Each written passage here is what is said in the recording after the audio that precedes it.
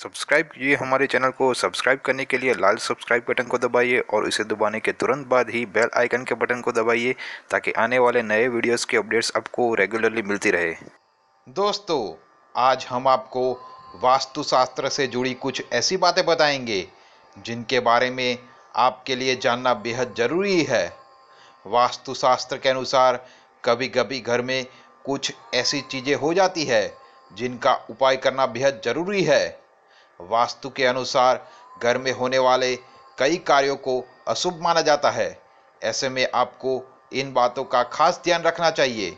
इसीलिए आज हम आपको बताएँगे कि यदि आपके घर में अचानक ये चीज़ें दिखने लगे तो आपको सतर्क यानी सावधान होने की ज़रूरत है।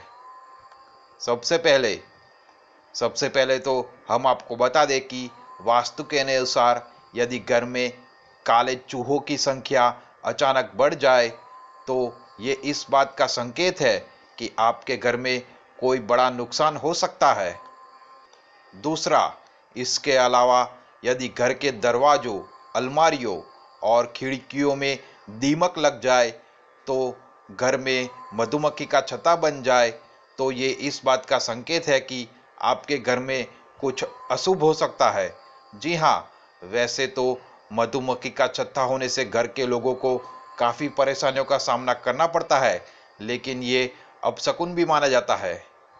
तीसरा, वास्तु के अनुसार ऐसा कहा जाता है कि यदि घर में काली चीटियाँ आ जाए तो इससे घर में काफ़ी बरकत होती है।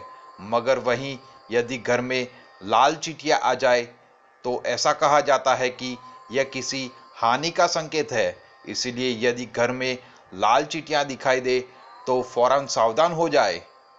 चौथा, वास्तु के अनुसार उत्तर दिशा को काफ़ी शुभ माना जाता है।